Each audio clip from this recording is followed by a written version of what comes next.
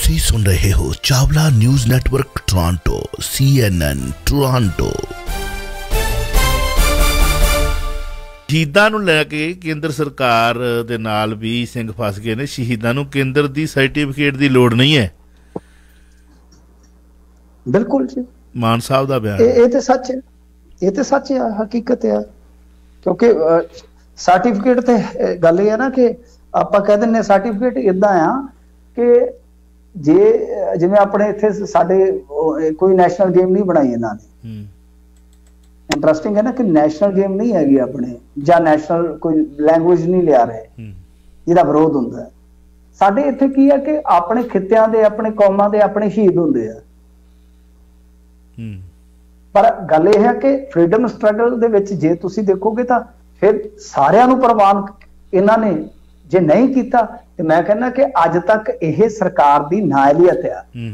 ਕਿ ਘੱਟੋ ਘੱਟ ਦੂਸਰੇ ਛੱਡ ਦਿਓ ਤੁਸੀਂ ਮੂਵਮੈਂਟਾਂ ਚੋਂ ਨਿਕਲੇ ਜਿਹੜੇ ਫਰੀडम ਸਟਰਗਲ ਦੇ ਨੇ ਉਹਨਾਂ ਨੂੰ ਮਾਨਤਾ ਦੇ ਦਿਓ ਕਿ ਹਾਂ ਬਈ ਜਿਨ੍ਹਾਂ ਨੇ ਸੈਕਰੀਫਾਈਸ ਕੀਤਾ ਆਪਣੇ ਆਪ ਨੂੰ ਉਹ ਤੇ ਸ਼ਹੀਦ ਨੇ ਦਰਜਾ ਪ੍ਰਾਪਤ। ਪਰ ਸ਼ਹੀਦਾਂ ਨੂੰ ਮੈਂ ਉਹੀ ਕਿਹਾ ਕਿ ਦੇਖੋ ਉਦਮ ਸਿੰਘ ਨੇ ਜਾ ਕੇ ਉਡਵਾਇਰ ਨੂੰ ਉਡਾਇਆ ਤਾਂ ਉਹਨੇ ਇਹ ਥੋੜੀ ਸੋਚਿਆ ਹੋਵੇਗਾ ਕਿ ਇੱਕ ਦਿਨ ਵਿਚਾਰ ਮੇਰੇ ਬੁੱਤ ਲੱਗਣ ਆ ਹੋਵੇ। ਆ ਹੋਵੇ। ਨਹੀਂ, ਉਹਨਾਂ ਦੀ ਸੋਚ ਤੇ ਉਸ ਵੇਲੇ, ਉਸ ਮੌਕੇ ਤੇ ਉਹੀ ਸੀਗੀ ਨਾ, ਜੋ ਉਹਨਾਂ ਨੇ ਧਾਰਿਆ, ਹਾਂ, ਇਹ ਕਰਨਾ ਹੈ, ਬਸ ਦੈਟਸ ਇਟ ਤੇ ਇਹ ਤਾਂ ਹੁਣ ਚਲੋ, ਆਪਣੇ ਇੱਥੇ ਤੁਹਾਨੂੰ ਪਤਾ ਸ਼ਹੀਦਾਂ ਤੇ ਰਾਜਨੀਤੀ ਵੀ ਹੁੰਦੀ ਹੈ। ਤਾਂ ਗੱਲ ਇਹ ਆ ਕਿ ਇਹ ਸਾ- ਸਹੀ ਹੈ ਕਿ ਸ਼ਹੀਦਾਂ ਨੂੰ ਸਰਟੀਫਿਕੇਟ ਦੀ ਜ਼ਰੂਰਤ ਨਹੀਂ ਪੈਂਦੀ, ਕਿਉਂਕਿ ਇੱਕ ਕੌਮ ਦੇ ਵੱਖਰੇ ਸ਼ਹੀਦ ਹੁੰਦੇ ਆ, ਕਈ ਵਾਰ ਦੂਸਰੀ ਕੌਮ ਵਾਸਤੇ ਉਹ ਖਲਨਾਇਕ ਹੁੰਦੇ ਆ।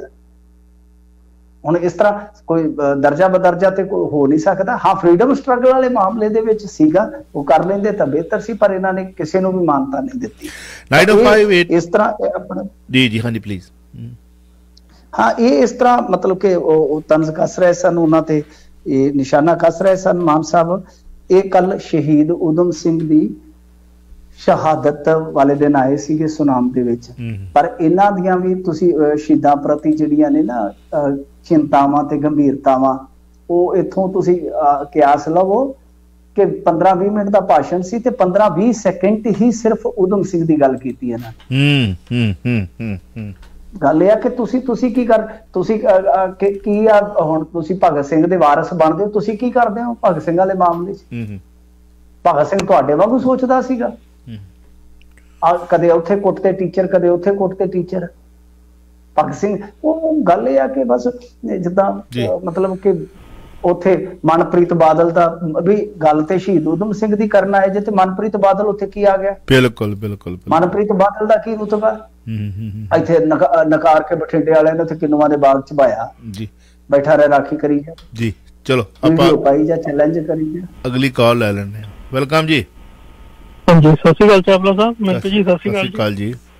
ਸਤਿ ਸ਼੍ਰੀ ਅਕਾਲ। ਅ, ਮਿੰਟੂ ਜੀ ਮੈਂ ਇਹ ਪੁੱਛਣਾ ਚਾਹਣਾ ਜਿਹੜਾ ਆਪਣਾ ਪੰਜਾਬੀ ਯੂਨੀਵਰਸਿਟੀ ਦਾ ਉਹਦਾ ਉੱਤੇ ਰੌਲਾ ਪਿਆ ਹੈਗਾ ਤੇ ਉਹਦੇ ਵਿੱਚ ਉਹ ਕੌਣ ਸੀਗੇ ਜਿਹੜੇ ਕਹਿੰਦੇ ਵੀ ਪੰਜਾਬੀ ਬੋਲਣ ਦੇ ਨਾਲ ਅੱਤਵਾਦ ਪੈਦਾ ਹੁੰਦਾ? ਸਰ ਜੇ ਉਹ ਕੋਈ ਪ੍ਰੋਫੈਸਰ ਆ ਕੌਣ ਡੀਨ ਆ?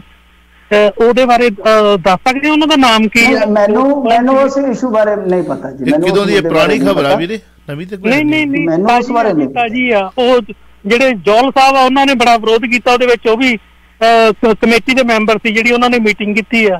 ਕੋਈ ਰੀਸੈਂਟਲੀ ਖਬਰ ਆਈ ਅੱਜ ਦੀ? ਸਾਰੇ ਕਰਨਗੇ ਜੀ ਵਿਰੋਧ। ਸਾਰੇ ਵਿਰੋਧ ਕਰਨਗੇ ਜੇ ਕੋਈ ਇਹੋ ਉਹਦੇ ਗੱਲ ਆ, ਜੇ ਫਿਰ ਤਾਂ ਸਾਰੇ ਕਰਨਗੇ। ਵਿਚਾਰ ਇਸ ਤਰ੍ਹਾਂ ਦਾ ਹੈ ਜੀ, ਜੀ, ਜੀ। ਜੇ ਕਿਸੇ ਦਾ ਕੋਈ ਵਿਚਾਰ ਇਸ ਤਰ੍ਹਾਂ ਦਾ ਹੈ ਤਾਂ ਜੀ- ਉਹ ਗਲਤ ਹੈ ਜੇ ਇਹਦੇ ਬਾਰੇ ਕੁਝ ਅਪਡੇਟ ਮਿਲਦੀ ਹੈ ਪਲੀਜ਼ ਕੱਲ ਨੂੰ ਦੱਸ ਦਿਓ। ਨੋ ਪ੍ਰੋਬਲਮ ਵੀਰੇ ਡੈਫੀਨਿਟਲੀ ਥੈਂਕ ਯੂ ਜੀ। ਜੀ।